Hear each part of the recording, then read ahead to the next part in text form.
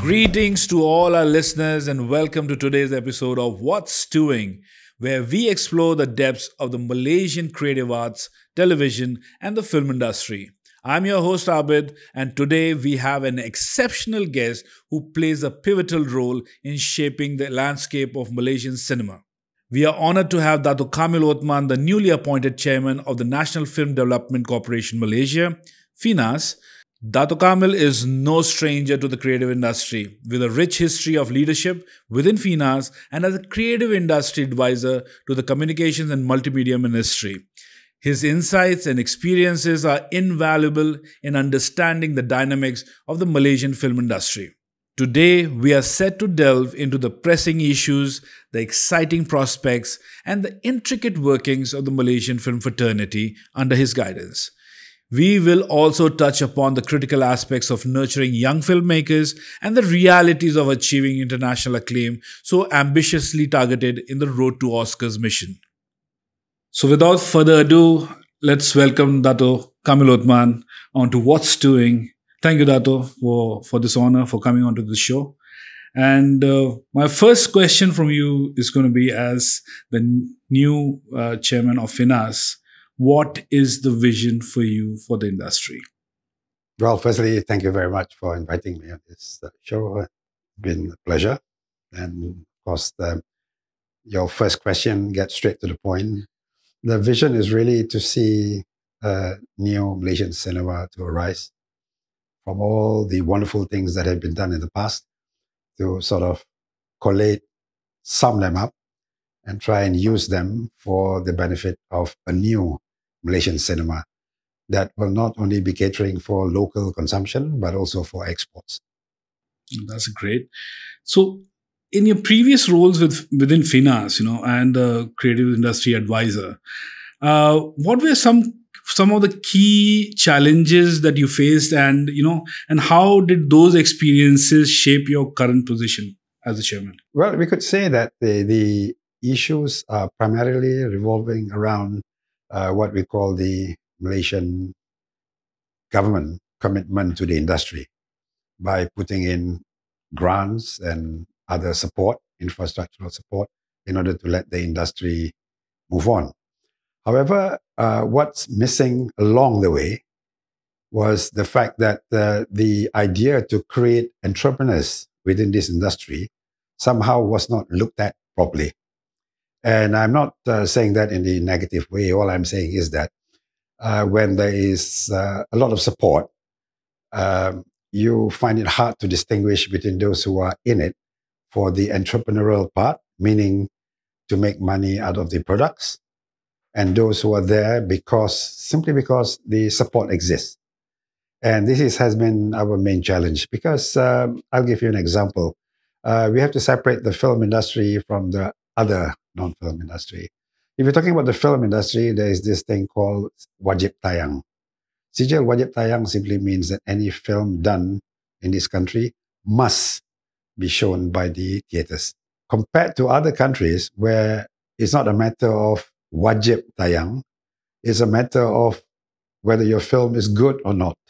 It's worthy enough to. Yes, it's worthy enough to be shown. So in some ways, uh, okay, I'm I'm generalizing things a bit. I mean, uh, there are exceptions to the rule, uh, but what we have seen happening is that the emphasis to make sure that a particular product, a particular film product, to actually take off uh, is not as uh, how shall we say it is not as maximized as it should be. Because the satisfaction is the KPI so to speak is just that I've made a film and it gets shown. Now whether after that it goes beyond our shores is uh, something that doesn't drive. You know because uh, when I was with MDEC I have seen entrepreneurs young animation companies, young ICT companies, apps companies who were there from the very beginning because of their obsession with their product and services. And that drives them into sort of a entrepreneurial despite having government support. So it pushed they, they yes, pushed it it pushed them. So it's a typical story of the SME model, you know, starting from seed financing, and we are taking them all the way to IPO. Unfortunately, for the film industry, that's not quite the picture we have yet. And uh, we are not blaming anyone, except that I think what has happened is that the subsidy uh, situation has created a different kind of uh, people that come into the industry. Remember, with ICT and animation, the people who enter the industry are those who are actually who want to be in it and who are animators and who knows who the technology. are animators and who are technologists and who are ICT, who are just simply what we call uh, ICT nerds, right? They know the job. Uh, yes, and all inspired by the likes of Steve Jobs and uh, you know Bill Gates and whoever, and uh, you know, it's all about invention. It's all about innovation. It's all about getting into the world, and they don't have just Malaysia as their market in their heads it's about something that will change the world, change the landscape. Now, you don't find that in the film industry, mostly because of what I've just said earlier. Is a support system that needs to be relooked to see that the support is similar to the support given to the animators, the ICT and the apps developers and the games developers as well. Well, that's coming out also big uh, in mm. that part. So, so, how do you plan to address the ongoing concerns and issues within the Malaysian film fraternity, uh, especially regarding transparency and accountability? Right now, actually, if you look at the year 2023, if you notice, this is our best year for Malaysian cinema yet. Yes. Because we have got many, many films that are right now carrying the Malaysian flag in many festivals around the world. Uh, and as you, as you know, recently there's a film called Abang Ade that backed a lot of nominations in Golden Horse, you know, prestigious events like this. And uh, Tiger Stripes, yep. you know, won the Grand Prix at the uh, Cannes Film Festival. And I can name a few more. Rain Town being exposed, uh, you know, to the world right now in a way that uh, we've got a Malay director directing a Cantonese movie, uh, which is part of that move towards Malaysiana that I'm hoping that we would reach to eventually. Uh, Stone Turtle, many other films, yeah, and short films um, as well. So the talent is there. So that much we don't argue. Now the paradox or the challenge that we have right now is this: these are small films, small in the sense that the budgets are manageable, and most of the time the help that came from the public sector is only in terms of seeding. It's all about giving small money for development. And then they themselves, because they are very much into their projects, uh, the initiatives are all taken independently. So I must admit that FINAS cannot claim 100% for all these successes, but we did provide the seeding or the environment. Now comes the next question. What about the other cluster? Because technically speaking, filmmaking in Malaysia is divided actually between two uh, clusters, for one of a better description. One is what we call the one who makes films in order to make money. Yeah. So this is the model that Hollywood is based on, Bollywood is based on. Studio model. Studio model, right? So the whole idea is make films, create film stars, create action, create whatever to break at the box office. Now, although that is the intention, the fact still remains that our previous hope that a firm that can make it big in their country of origin can also make it big outside the country of origin has not been met. So, what have we done? We are looking now at the marketing aspects. Are we poor at marketing our products? That's one question, right? Yep uh, to hype, hype things up. Yes. Or we are not using social media in the way that it should be used. So that is the what I call the positive factors that we are considering. The other side that we're also considering is that our stories not well developed, such that uh, we are only creating films for ourselves, for the local market, yeah. which makes it difficult to go beyond Malaysia. I mean, um, Singapore, Brunei are the traditional places that our films could go to. But Indonesia, we still have problems breaking into Indonesia. So the solution that you were alluding to earlier uh, could be now, as we are planning it, co-productions. Because what we are seeing is that more and more films these days are made not by one country. They are normally the end result of a few countries getting into the picture. Now, getting into the whole production environment is not about creative intervention. Some of them are pure investors. They're just investing in order to get something back. Uh, but there are also some who comes in from the creative side. So whichever way you look at it, it is up to the producers to actually manage how the film is made and how the film is to be financed. And this is where we come up with the other, perhaps the other uh, shortcoming in Malaysia, that of the global producer. We only have a handful. Yep. You see, like uh, how did that cover girl could get the kind of traction it gets? That's because you must have a producer that is aware about all the possible angles uh, that uh, could actually leverage on the product, whether it's OTT or theatrical or whatever, doing that producer. That's what we are lacking at this moment. I think is, is the global vision is missing. You're saying that mm. from the from where is conceptualized to the marketing to the release.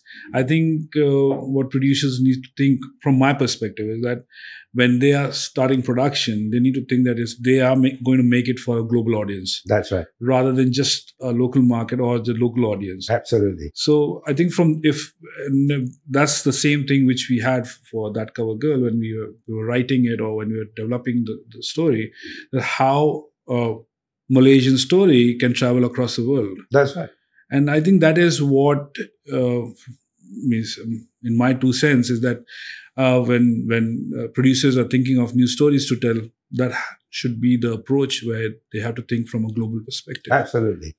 If we take uh, that cover girl as an example the film is really about it has to do with something which is very malaysian the hijab and the the class that that new class of uh, entrepreneurs, businessmen. You know, it's all, it's all about business, really, but it is also about the family unit. And really, we're talking about the upper middle class kind of family. Now, that has been covered endlessly in dramas that you watch on RTM, Media Prima, plenty. But they didn't move beyond the shows. Yeah, yeah. For the reasons that we mentioned, that something has to be made fashionable and um, you know, with a world audience in mind. So it, it's fair enough. I mean, I'm not uh, saying anything negative about the local dramas and all that. I know RTM and Media Prima and Astro has come up with some good yes, dramas. some great stuff they're and They've got great stuff. And I think in their hearts, they are also willing to sort of push this out uh, beyond the domestic shores. But somehow uh, it's still not happening in the manner that, that we are hoping. Basically, it's something like this BBC can export their shows. And as you know, even something like the, the Bridge was also adapted for the Asian market.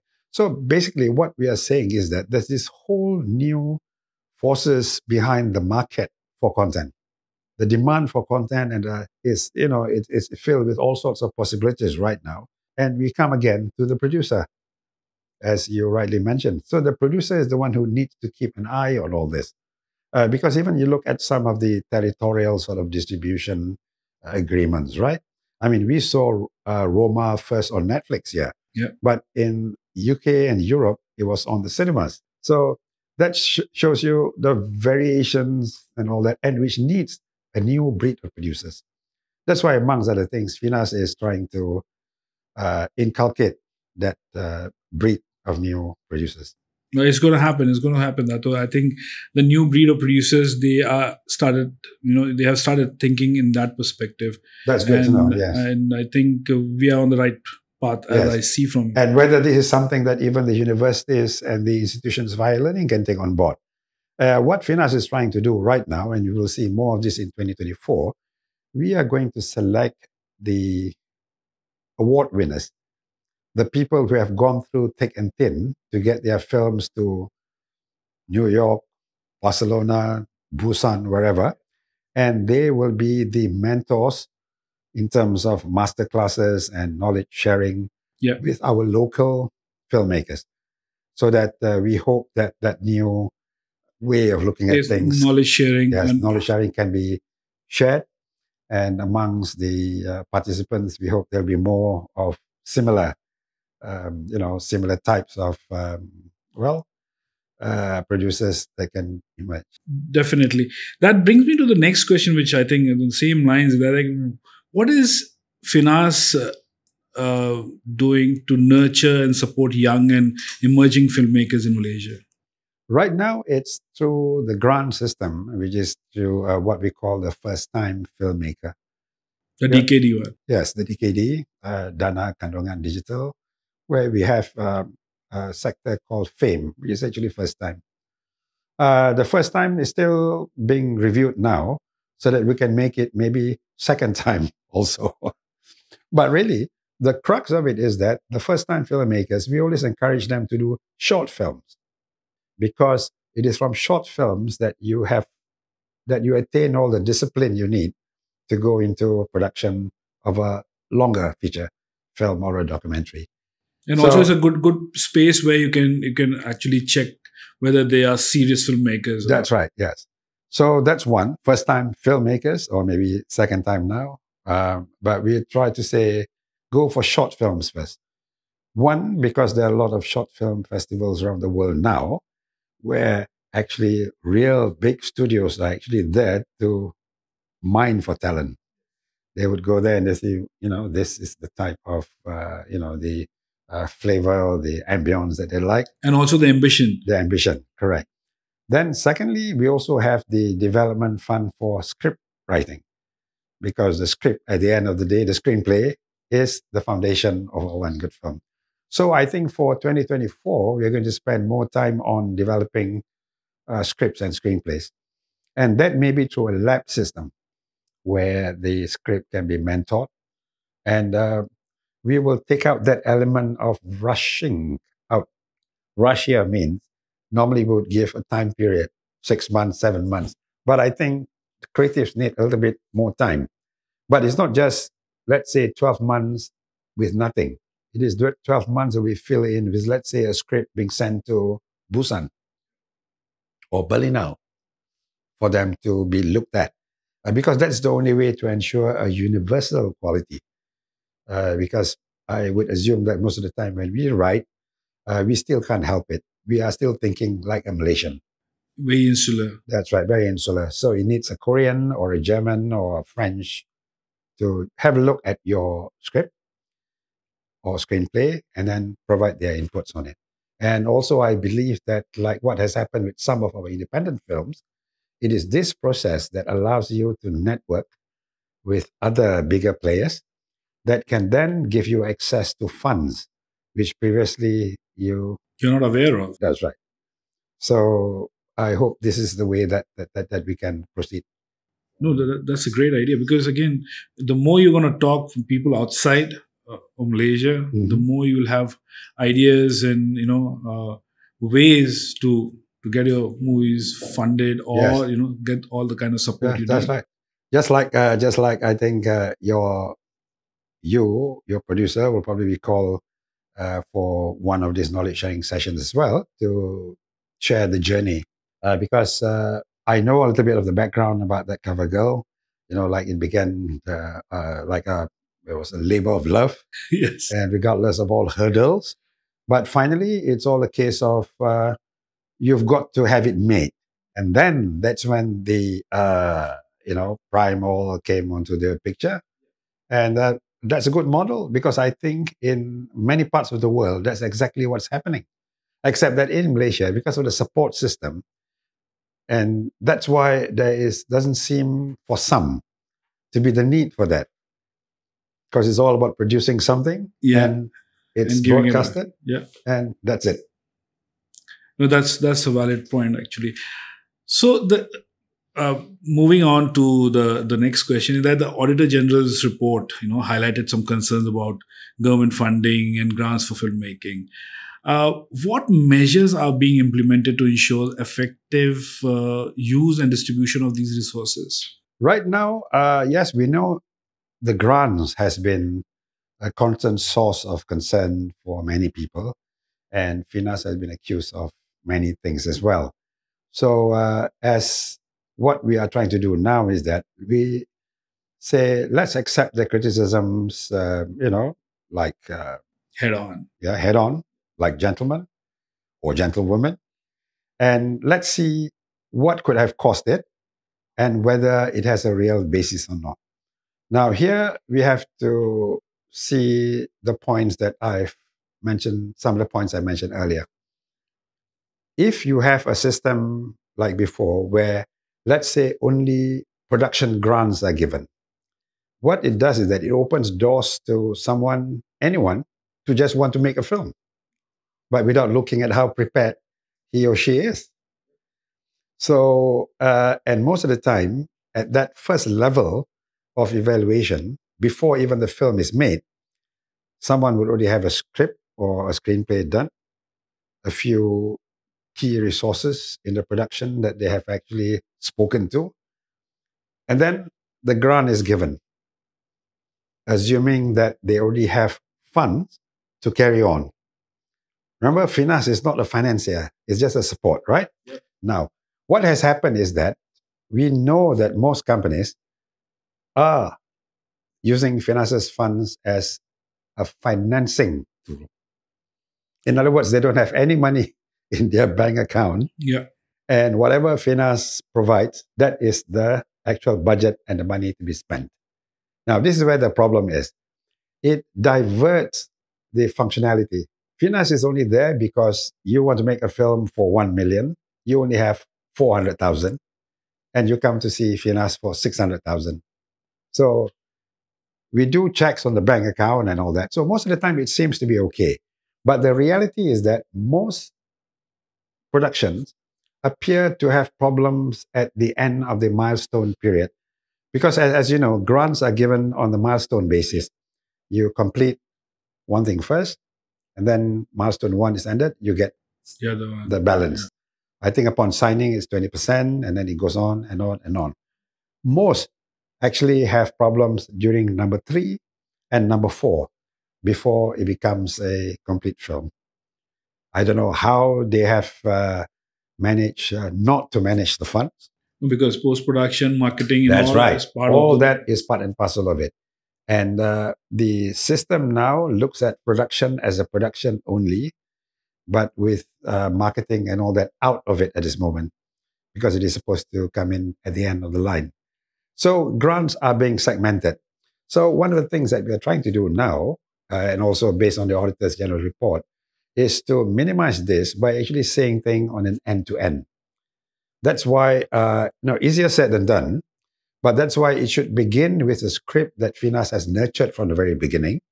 We have to somehow green lane it into the production mode and then take care of it, not holding hands really, but just to make sure that it transits from one segment to the other and including the marketing and A&P.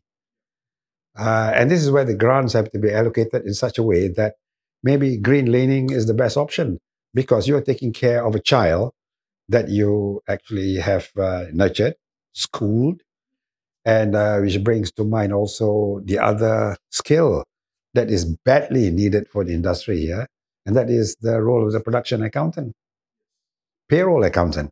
Any Western films or even from Japan, India, you would see a payroll accountant or an accountant.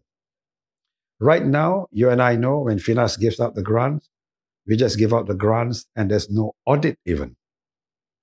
So maybe we are talking to reintroduce that element in. I think that's a great, uh, it's a great uh, initiative. Actually, FIMI part of Finas does that. Means uh, while we Yes. were making the show, Correct. so they have their independent uh, auditors which audit the production, Mhm. and they do a fantastic job Yes. because we have done it. We know that, Correct. and I think if that gets introduced, the same similar model which already exists uh, into the the grant bit of it, then I think there's a lot more accountability and there's a lot more transparency. Indeed. That FIMI model is based on the fact that you spend first Yeah. and then we will audit. Now, that actually gives us a clue as one of the options that we can consider for the grant system. Yep. It's a bit like um, the way that accountability comes in is when the producer is using their own money first, but with the assurance that when the film is done, they'll get it back. And is audited that you have actually spent X amount, you are going to get 30% back. So FIMI provides that model. Uh, we can't transplant it wholesale, but we could actually have elements about it. Example, I have actually suggested uh, maybe uh, we do not give out grants, but it's actually what we call soft loans. But that loan is converted to a grant once your film is completed. I mean, it's a safe thing because yes, then then you have correct. you know uh, a motive to finish correct. product. That's right. Uh, it's not been confirmed yet, but uh, this is one of the suggestions because we had a management uh, board retreat uh, two weeks back, and this was one of the items that we discussed. And the other items that we discussed, again, uh, related to the Auditor's General Report, is what we call the first money and the last money concept. First money is actually for first time filmmakers, those who have just graduated and all that. So, first money, it's okay. It's only for short films, independent films, and most of the time it could probably revolve around screenplay writing and for their screenplays to be sent to labs uh, because there's always a lab in Yogyakarta, in uh, Japan. There are always places like that. And again, it's not so much FINAS. It's the producer who's producing it. They should know about all this. The script doctors. The script doctors, that's yeah. right. So that's one part. The last money is for those established companies who are coming in regularly to ask for funds. Only when they have accumulated maybe 60% of the actual funding for the movie, they come to FINAS for the balance of the 40. So that's the last money concept. In other words, we will look that you already have uh, funders. And also a track record. A track record. Or maybe you can even have a minimum guarantee for, uh, you know, like there's a broadcaster behind you, there's a distributor behind you, or you go to Cannes or ATF in Singapore and you already met someone who's willing to invest or to even uh, co-produce, distribute, uh, co-produce your film. yeah. All that facts in, then the balance, the stopgap, we will try to accommodate. That's a good idea. That's a that's a brilliant idea actually. I mean, that gives a lot of accountability for, for the product to be finished and to be done. That's right. So, um, in terms of uh, you know infrastructure and policy, um, what improvements are necessary for the Malaysian film industry to compete globally? Good question and a tough one as well. So far, right now, we are exploring and observing the rate of films that are taken up by international film festivals to see what's the quality or what kind of essence that they have. Is it the action type or is it something else? And of course, you and I know the world actually loves human interest themes things that they can relate to and without having to worry about any uh, wondrous uh, escapades into fantasy land or uh, how shall we say it uh, elements of uh, you know superiority and any you know army action movie or yeah. whatever so we notice that human interest now if you look at all the recent spate of successes that we have including tiger stripes abang adik Stone Turtle, and even Rain Town for that matter. It's all about human interest. It's about family, and it's about something that even somebody in Santiago in Chile can relate to. So maybe that's where part of the answer is. And I think to make the film global, we still have to accommodate the the big budget um, nationalistic kind of films. But again, that's for last money purposes. Yeah. Uh, but for the first, at least for the first money, we have to focus on that sort of films. The one with human interest, the one that shows Malaysia in a different light or in a perspective which uh, the world can relate to. Now, again, this brings to mind that uh, since imagination has no limits, really, uh, there might be a lot of things that uh, you know the film community can come up with. So, in that sense, uh, we still have to look out for sensitivities and stuff like that.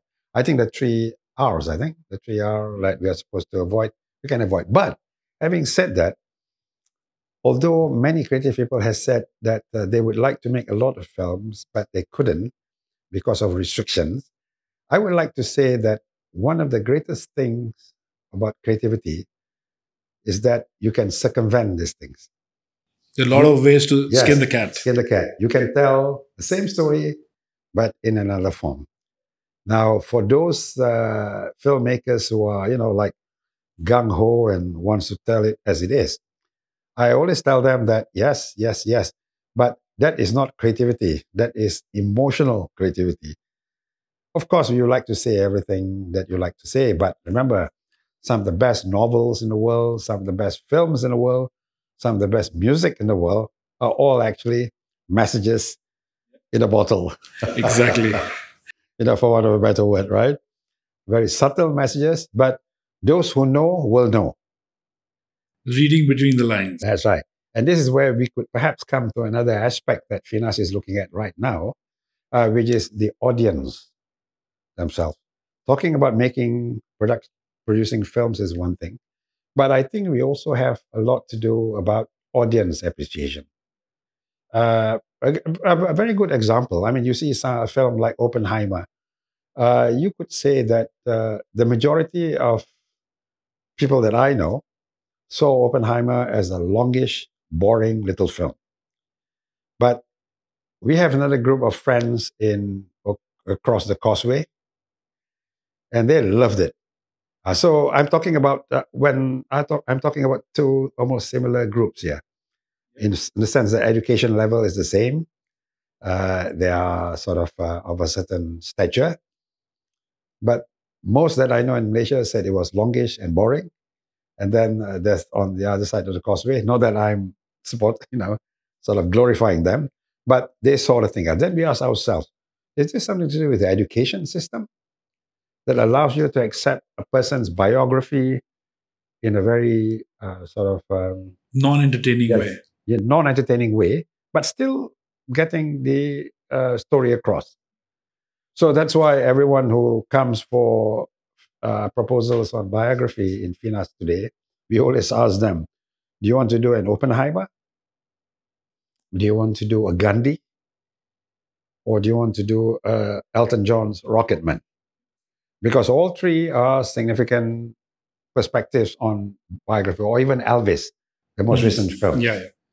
So uh, that's how we are trying to assess and trying to articulate the way by which uh, we can convince both the audience and the uh, filmmakers themselves. As for the audience, we are going to ramp up our exposure of Malaysians to international films, not necessarily new ones, but maybe the classics. Uh, as you and I know, I mean, like Citizen Kane, I mean, it's almost compulsory for any film student. First movie in a film school. That's right.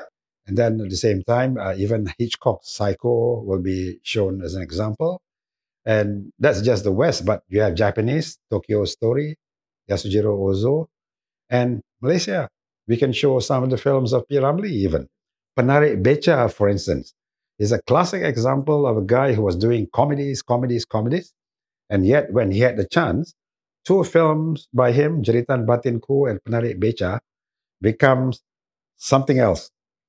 It is telling people that there is a class gap. Yeah. There is this thing between the rich and the poor. But most of all, it's about the Malays. So, uh, and you can see that in that sense, P. Ramlee is a genius when it comes to making film. Abdul, the three, Tiga Abdul, is actually the three, to me personally, are the three components of what makes a Malay a Malay. So it's really a message to the orang Melayu, Yeah. which we should understand. But I suppose uh, at the same time, it's not just Melayu. I mean, uh, Hong Kong filmmakers have been making films about to say the Chinese, this is what you are. Europeans have been doing it for ages. Even now, Napoleon just came out. Say what you like. Ingmar Bergman was trying to rip open the psyche of the, uh, what do you call it, the Scandinavian mentality. Yeah. But basically European. The French have been doing it for ages. And in America, although Hollywood doesn't do it, but you know, the small personal films are all about that. So that's how it should be, I believe. That we should be going into that area where audience should appreciate all this and not watch something like No Country for Old Men and come back and say, ah, boring film. Right? That's a Yeah. yeah. that's a good comparison. Yes. Yeah. Although it was a great. Uh, so uh, it will be done through what we call film appreciation uh, screenings, Okay. uh, which will be held either at FINAS premises or we would probably take a theater somewhere. But mainly, we're trying to work closely with the universities, institutions of higher learning. That would be great. Actually, you know, uh, like what Project Room does in Singapore, Mhm. they they release all these old ones. That's right.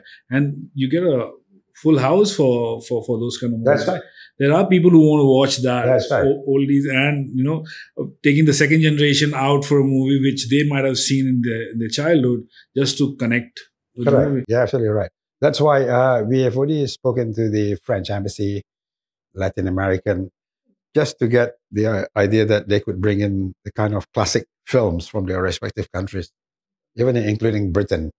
Um, there are some classic films uh, which the message we're trying to say was that they were made at a time when even censorship was strict during that time for them.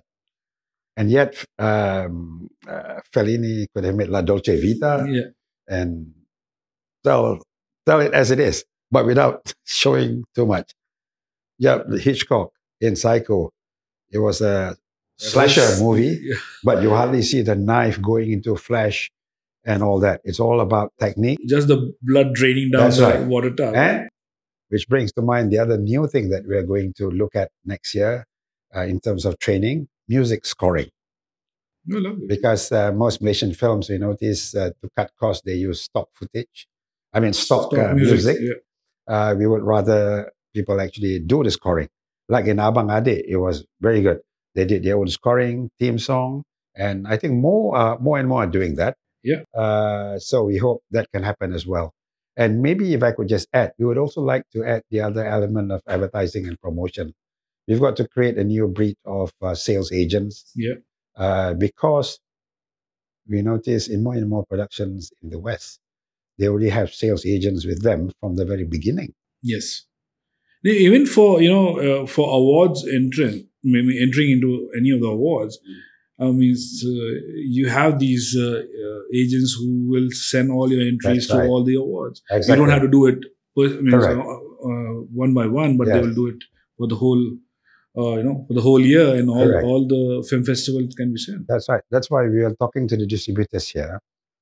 We are trying to encourage them to become international sales agent so that when they get any producer getting the FINAS DKD, from the very beginning, they could already have an international salesperson with them because they could guide them.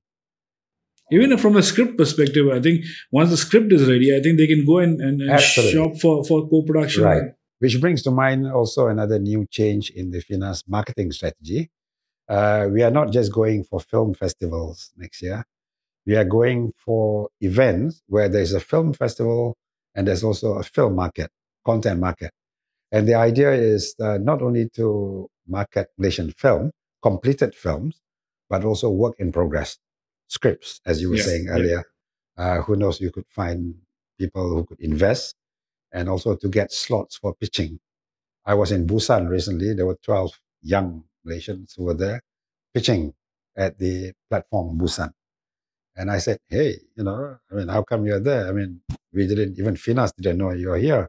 Oh, we no longer would like to, we didn't want to disturb Finas because we know Finas is for the big boys. And I said, big boys? No, I'm, we are now looking, redefining the word big now. So the good thing was uh, we engaged uh, with them. And now I think Finas will open its doors, as it should do, to the indie independent film community as well. Fantastic. That's great news, Dato. That's really, really good. Even where I mean, I was in ATF in Singapore uh, last week, and in the pitching session, there were a few Malaysians. Nations, yes. and that that really uh, surprised me also, and I was very happy that they're taking the initiative and going and pitching in front of you know Right. a lot of people. And uh, we will monitor them. And uh, well, basically, we are saying, uh, Finas, we are opening our doors now. Uh, the only thing is that, and this is personal, uh, I'm not sure whether it will go down well with some, but this is called um, creative advisory. Yes. Well, it is because yes. you know, uh, and first-time filmmaker is already lost. Basically, he's trying to figure out the money's perspective. I mean, money problems he's facing. He's an independent filmmaker. Uh, how to produce it, how to direct it, how to do the post production. Right. The last thing on his mind is going to be to you know take it to the fest. Or ah, that's right. Yeah. So I think that kind of support will definitely help uh, right. new filmmakers. Right. The creative advisory support that I was talking is uh, there's one more angle to it, and that is actually to look at the film itself or the script and try to do some changes. Okay, that's just from a personal angle. You know why? Because I have made it a point over the last few months to watch a lot of local films. Most of them are what I call missed opportunities. They could have been great films. But somehow, for some reason, the director or maybe the screenwriter didn't push it into the right places or they didn't press the right buttons. Or push the envelope right. in the first place. So it's all missed opportunities. The acting was really good, performers were really excellent. Technically, the DOP knows how to compose the scenes. And even music, well, maybe music for some of them, uh, they already done the scoring, which is good. But somehow the thing didn't work because they could be what I believe to be trying to make compromises in order to achieve commercial viability.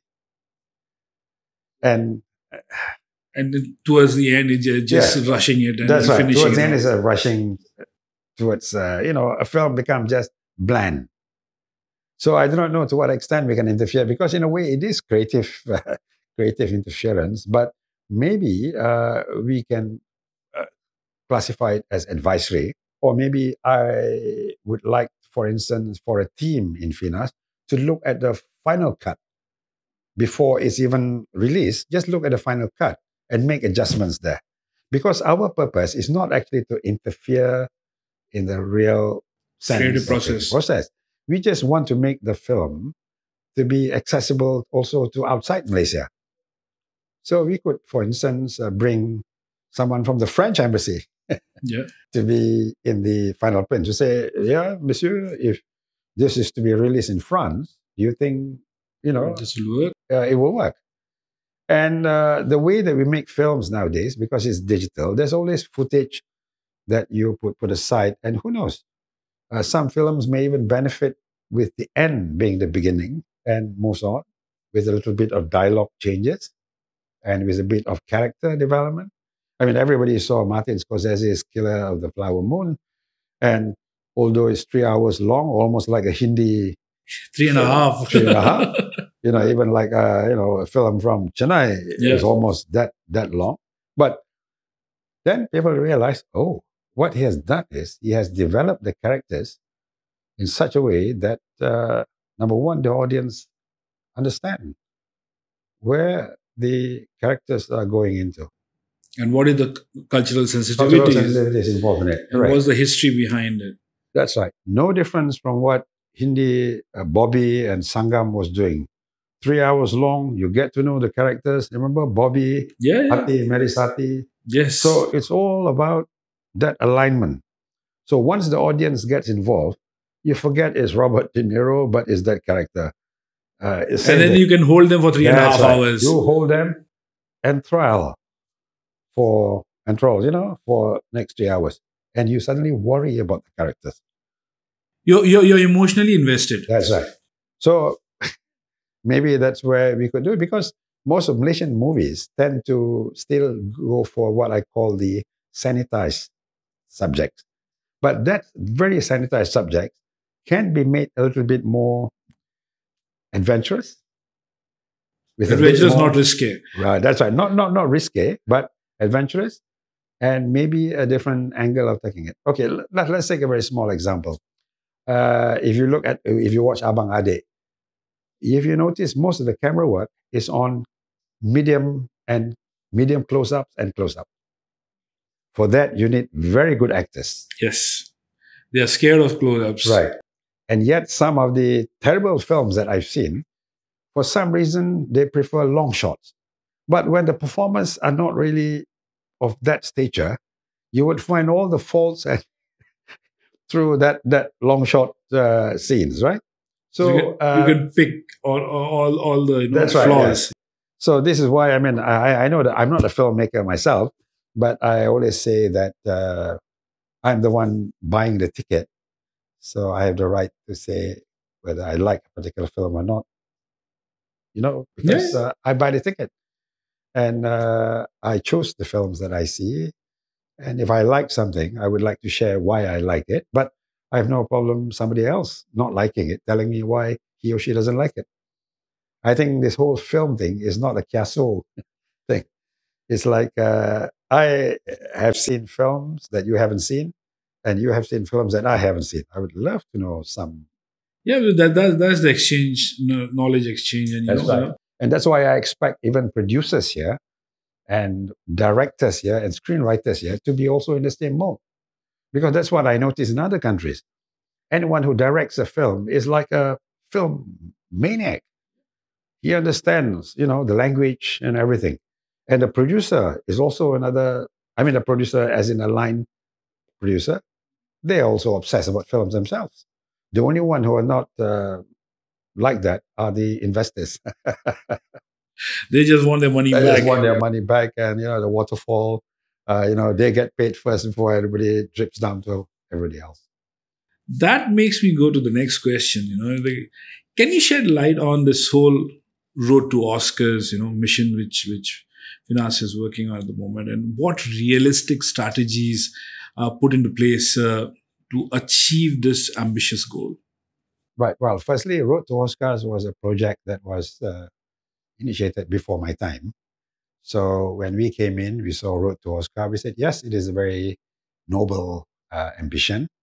Uh, and exactly what I've been talking earlier are all sort of uh, working. We are shaping things up so that we could move towards the Oscar, but not the Oscar. Oscar is like the ultimate aim. I mean, it's just a name, more like a symbolic thing. But along the way, uh, we have to have uh, big or small jackpots along the way. And in some ways, we have already achieved that. So, I mean, Tiger Stripe, for instance, yes, I mean, one button press, Critics' Prize in Cannes, yeah. which is no joke. I mean, how many films could actually get that far? Uh, Abang Adik, seven nominations. Uh, I think, no, sorry, I think more than seven nominations at the Golden Horse, Taipei where there are 500 entries. That's quite prestigious, right? actually. And then uh, Singapore Film Festival, uh, we had Malaysians, uh, I think, getting some awards there too, as well as the project. There when some Malaysians have pitch and project. So, in some ways, we are already heading there. The only thing right now is uh, we have to look at the policies that can be sustained.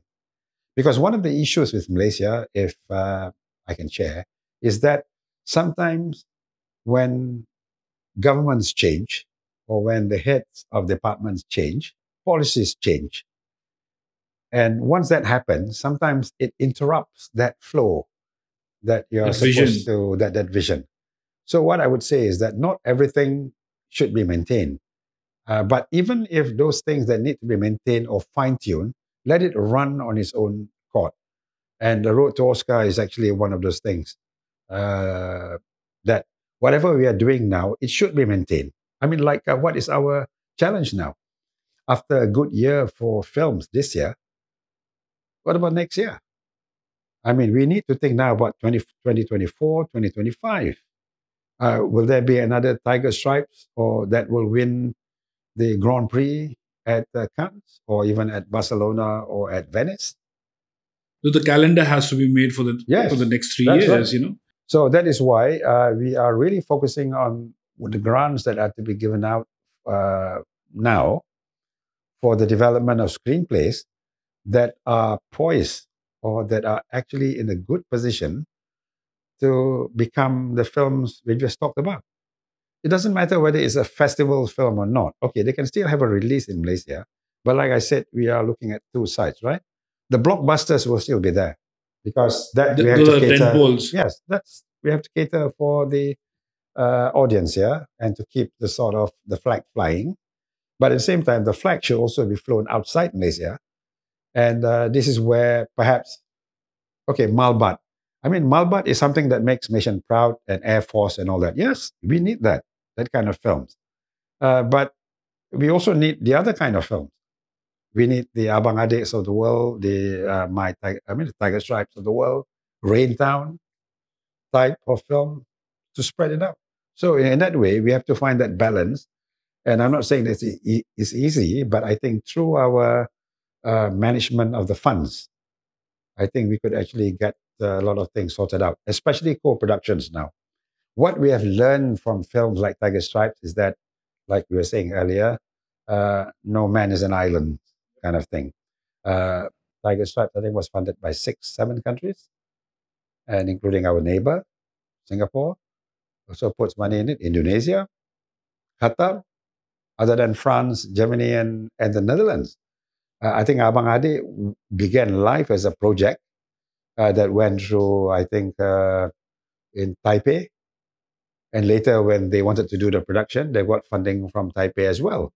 Although at the end of the day, for Malaysia, they got FIMI. So you see, everything is working in some sort of a synchronized way. So we have to study that a bit more in order to see where the next pathways should be. But we have to be fair to both sides. One are the, the Hollywood, Bollywood type of blockbuster, the tearjerker, which Malaysians actually love, the Mat Kilau yep. uh, type of films. And the other is the small films, or what I call small comparatively. True. Uh, that takes me to the next question. You know, you know how does FINAS plan to balance commercial success with uh, you know artistic integrity uh, in Malaysian cinema? It's uh, going to be very difficult because at the end of the day, it's all about what's on the screenplay does not necessarily translate everything you know with accuracy when it comes to being a film. Uh, but we do it this way uh, we look at the themes, the stories that uh, we are dealing with. Normally, when it comes to all these big budget productions, the one on patriotism, the commercial, this is actually decided by the the big, uh, what I call the big chiefs, yeah, and that would include the likes of Astro Shaw, right? I mean, they got their own slate of productions, and normally they make films that are of uh, nationalistic, patriotic nature, uh, or just commercial. And if they get an award anywhere, it's a bonus.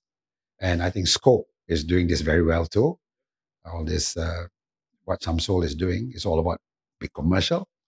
Um, but at the same time, you also have the other uh, category, which includes animation, which are now creating a lot of interest around the world. Jared, for instance, the horologist uh, to Cannes, and uh, there's a, a, film called uh, animated film called Pillars of Strength, which also won awards uh, in a lot of places.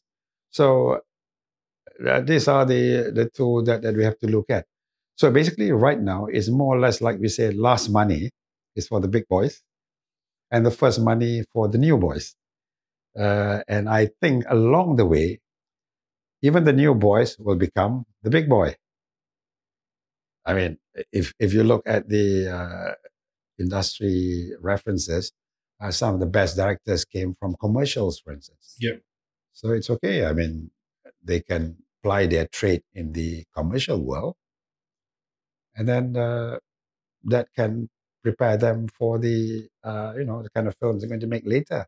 And that's why we're also emphasizing on documentary, because documentary films give normally the filmmaker and the team a sense of discipline, because you have well, like commercials, you have to say within what 60 seconds what you need to say? So that will give you the discipline that you need. And the economies of scale You've got to work within a fixed time period.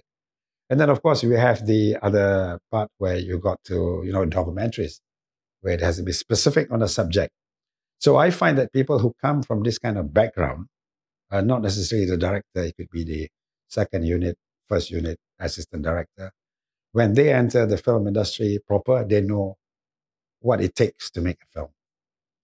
What we would like to avoid are people who just wake up one morning and say, I want to be a filmmaker just because there are grants. That is. Let's try something new. That's right. yeah, because uh, there are people, there are situations like that. I mean, if, if you see some film, I sometimes wonder if the filmmakers uh, watch them, they could actually come out and honestly tell me that they have made a good film. And remember, film criticism here or film reviews here are sometimes not honest too, because it's a friend, you know, amongst friends. You can't say too many negative things. But in actual fact, the very word criticism simply means it's supposed to be constructive. Uh, you could do better than what you've right. done. So it doesn't matter if a news, I mean, if, if a news portal rip your movie apart, your reaction shouldn't be emotional. Maybe even meet the guy and say why. I mean, that's why sometimes I would like to be met by some filmmakers uh, to just uh, be asked the question, oh, uh, why are you not happy with my film? Because all these are inputs. Remember, it's a lifelong learning thing. There's no such thing as a great filmmaker and then you stop there. Yeah. Even the masters you can talk to anything. You read the biography of Kurosawa or Fellini. It's all about learning.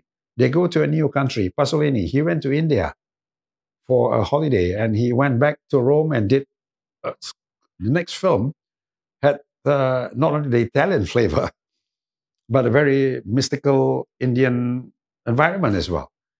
This is what it's all about. And uh, we have to create that community of filmmakers.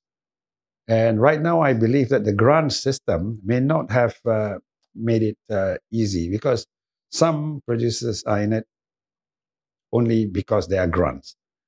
And I don't think that uh, this should be, you know, held on for too long. Because what they should realize is that they can actually make money from making good films. And the solution to that is that make it saleable outside Malaysia.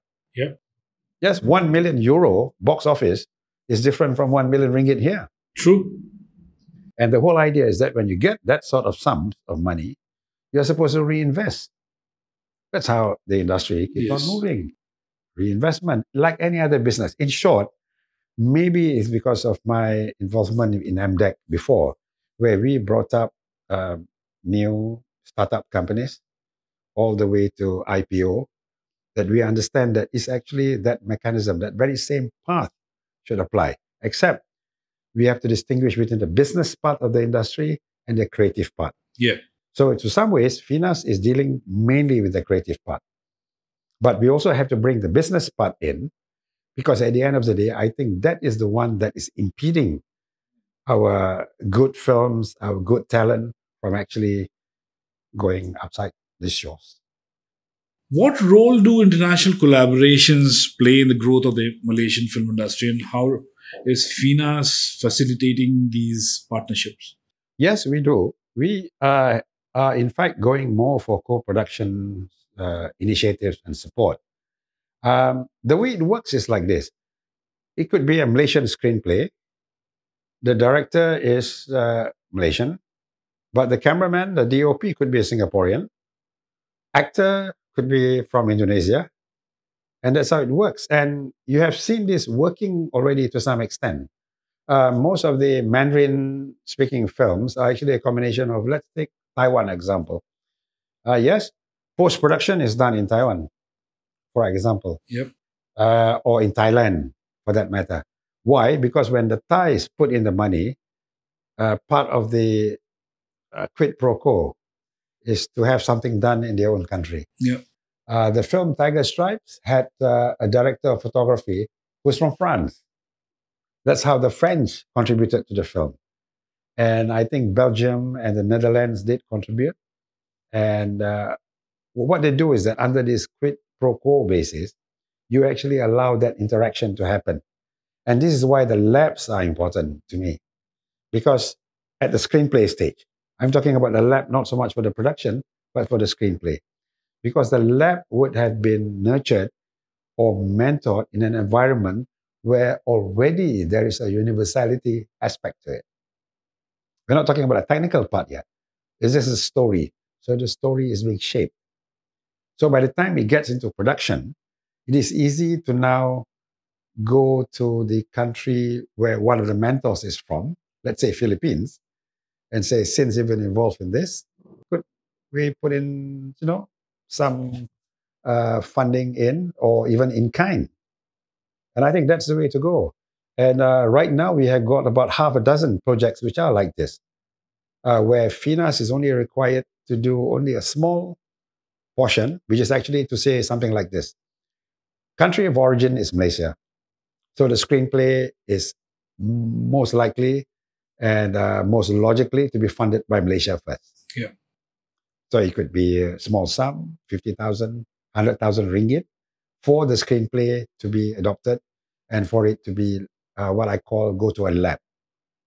Then the next stage production, we can come in either as last money because there would be countries. There again, what is needed for this sort of initiatives to move into what you've just asked is the producer again. The director is about the creative part. He should be thinking, not be thinking about whether they can assemble the funds from Thailand, Cambodia, or wherever. That's the producer's job. And what is the other producer's job? Marketing. While the film is being made, whether it already has agents in Cambodia, Vietnam, if you're thinking about Asia, and of course Europe. And FINAS's job, we bring them to the events like Cannes. Yeah. And make them meet these people. So uh, FINAS normally uh, becomes the facility, yes, facilitator. We normally facilitate and pre-arrange the meetings. So Malaysian companies will come with us, hopefully. Well, it is happening, but we will sort of expand it up. Malaysian companies will follow us to Busan or to Hong Kong Film Mart, uh, most of the meetings already pre-arranged. For example, I'm right now looking at two projects who are asking for a budget which FINAS cannot fulfill. Because remember, they come in initially thinking that FINAS can take care of the full budget. We said, no, we are the last money. So if that's the case, they say, where's the first money is going to come from? Then we say there's a slot that we can arrange for you in Hong Kong in February next year. Hong Kong Film. Yeah, yeah. There's a section there called HAF, HAF, which is the financing side of things. We could get them a slot. So mm. right now I have to make sure that they're ready with the investors pack because really they are meeting the investors. Okay. Because our motto is that who says you can make a, a hundred million ringgit film. Who says you, can, you can't? You can. But it's all not going to come from That's right. But it's not all going to come from FINAS.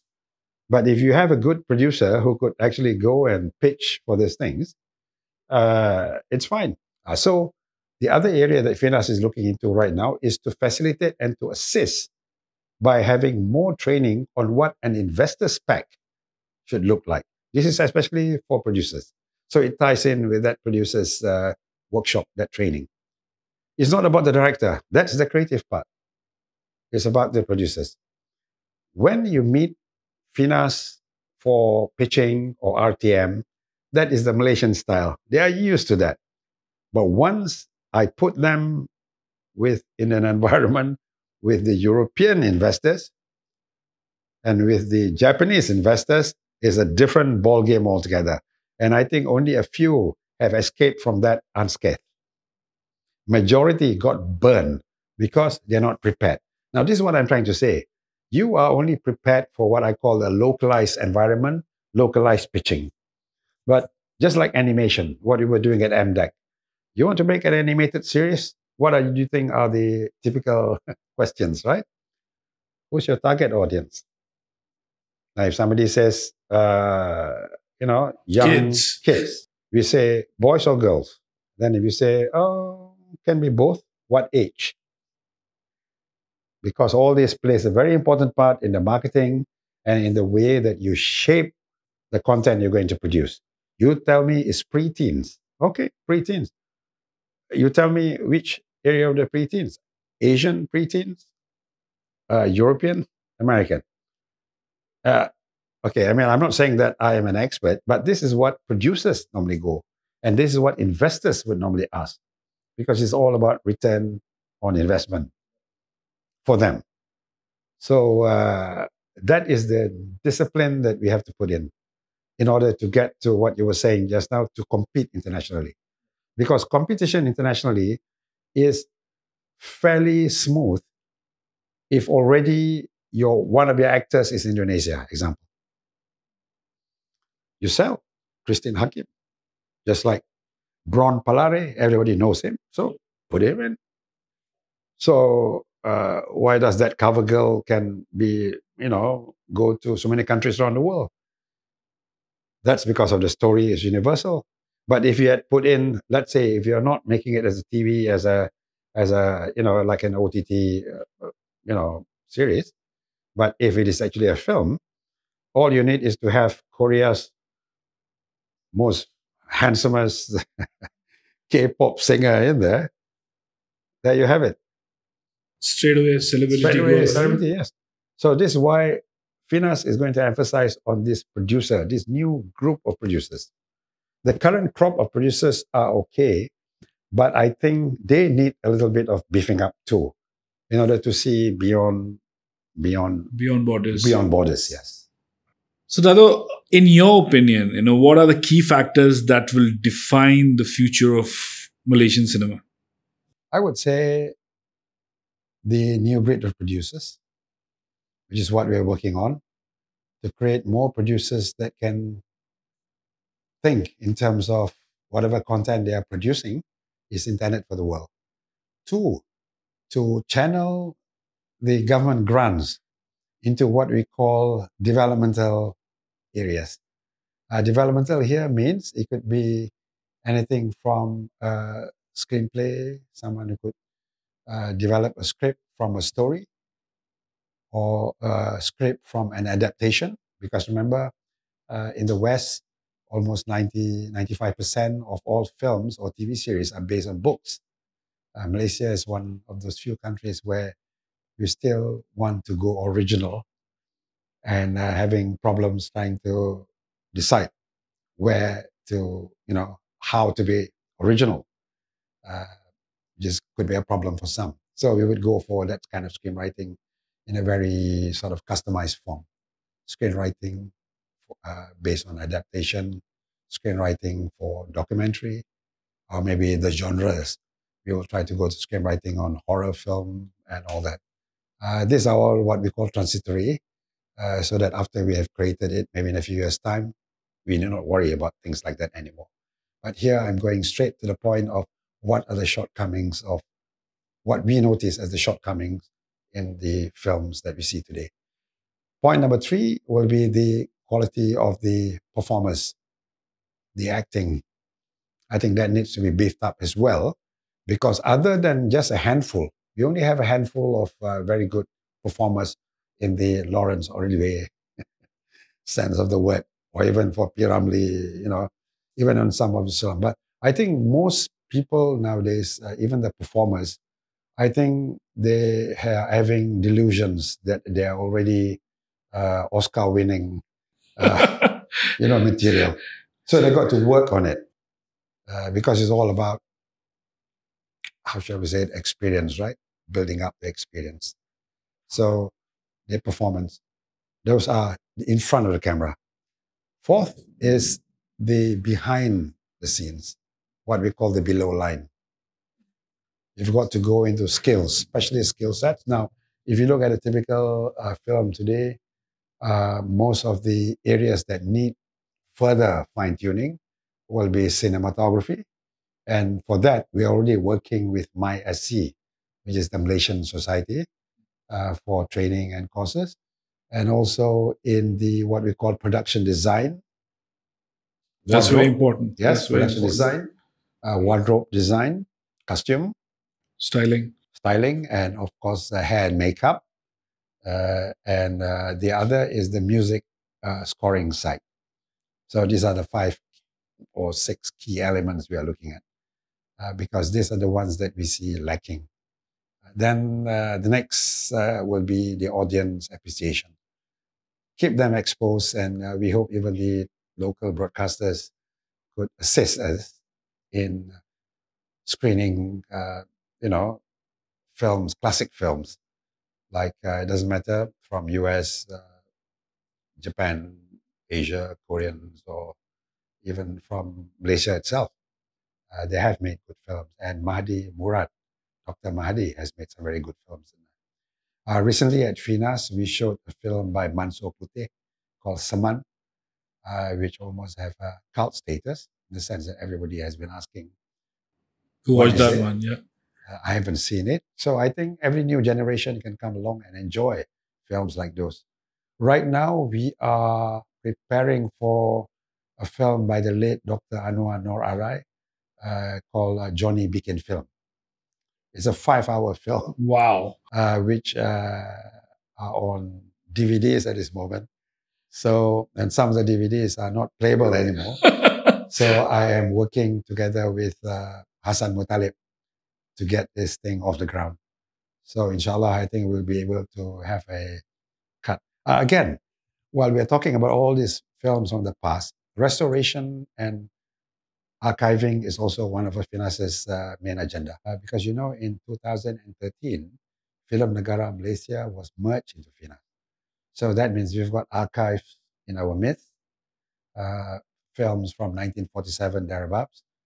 And uh, this is where we are also focusing our attention on and hoping that uh, more and more Malaysian filmmakers can start making films from the past and using these archival footages is quite common in the West. Actually. Yeah, I think that will really help the new new new generation of filmmakers to, you know, That's put in stuff which was done before and.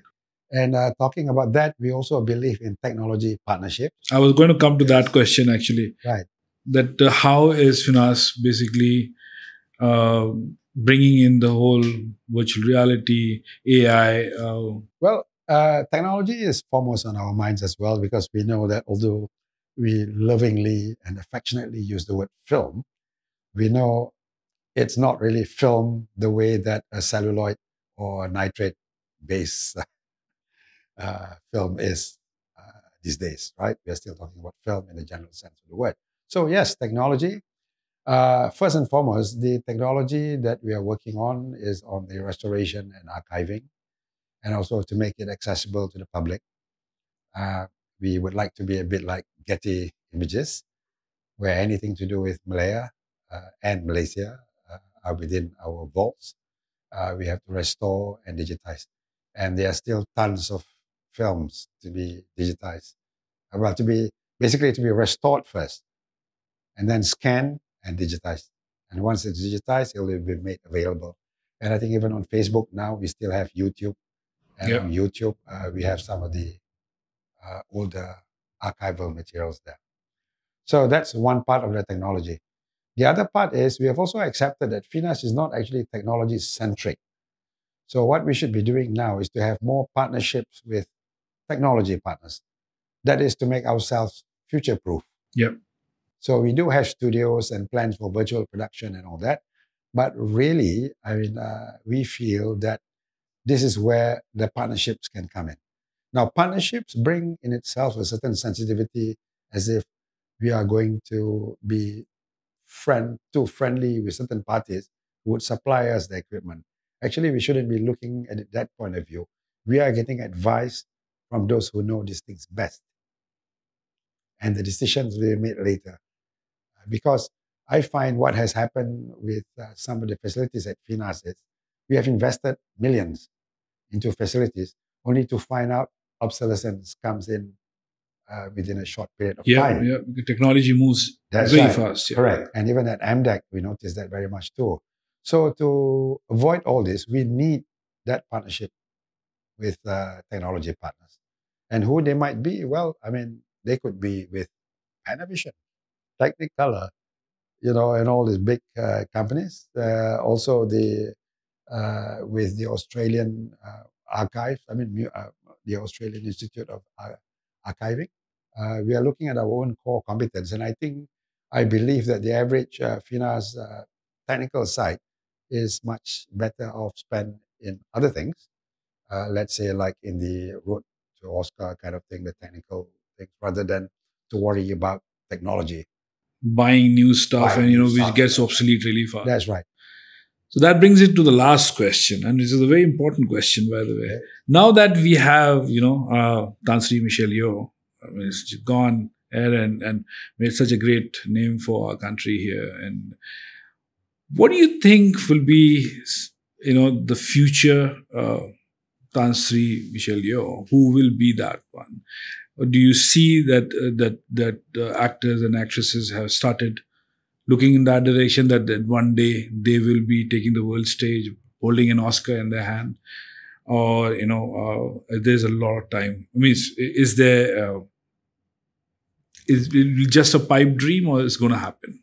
We were very happy that Tan Sri Michelle Yeoh got the Oscar because um, brings to mind the what we call nothing is impossible. So a Malaysian has done it. But to be fair, we can't claim 100% that she got the Oscar because of us. Uh, because she did it on her own. She's got her own journey. But that fact aside, she is still a Malaysian and she has gone on record to always remind the world that she's Malaysian. So in that sense, is uh, what we are saying is uh, we will find the opportunity whereby we will call Tan Sri Michelle to say that you achieve what you have achieved with, I think, only minimal support, I think, uh, from, from the country.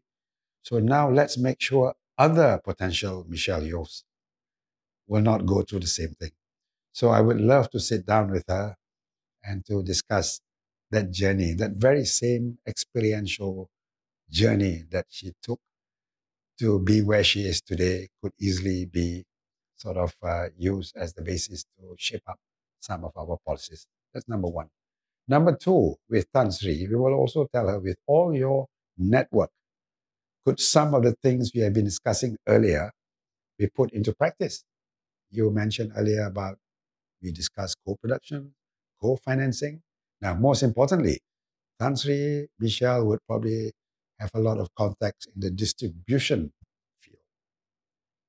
And all she has to do is appear in a cameo role in one of our, the next uh, Malbatt or Paskal.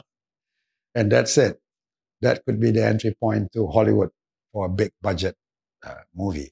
I'm sure Adrian Teh will be very happy to hear that. Cameo, five minutes, walking around. And we might even try to convince uh, Henry Golding to walk yeah. in for another you know, three seconds, or James Wan, for that matter, to give a masterclass on uh, horror, on the horror genre. Uh, what? Who else? I mean, we've got Defund Norman, whose films Wow was shown in Singapore. Uh, he's based in LA. So uh, who? Tsai Ming Liang, Taiwan, Hong Kong, plenty, I think. So and and in China, I was in China and I met a lot of Malaysian filmmakers there. Well, maybe this is high time to bring all these expatriates back, or even if they have a better future or a better career elsewhere, but you could still come here and we would leverage on you for your contacts and for your uh, for the insights. And something for yes. the industry here. That's right. And certainly for Tan Sri Michelle, yes, uh, I've mentioned, made many, many uh, sort of uh, intimations, right? In Malay, we call it uh, merisik, to try and get her to, uh, the next time she comes back here, to Ipoh. We can, we're really looking forward to that one. To just get her onto, you know, maybe just like, like I said, a cameo role, you know. That brings us to the end of the show. Thank you, Dr. Kamal.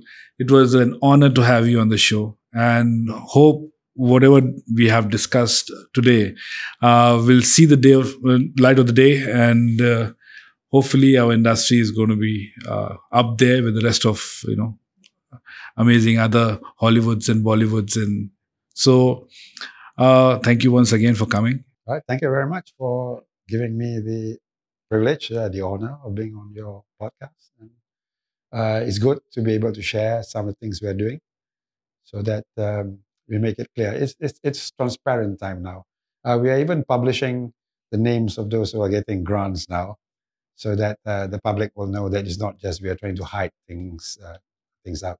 And the only thing right now is that maybe we'll also publish the names of the person who are evaluating because most of the time those who, who were not successful in their uh, applications I would blame it entirely on Finas, but we said, no, no, no, ladies and gentlemen, there is a STEAM group of highly learned individuals who are actually in the evaluation panel.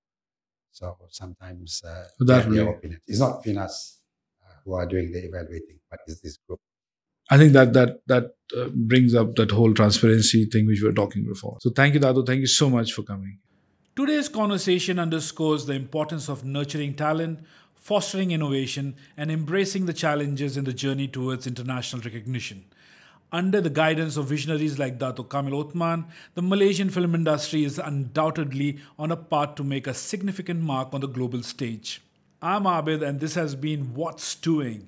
We hope today's episode has given you a deeper understanding of the potential and dynamism of the Malaysian film industry. Until next time, keep stewing.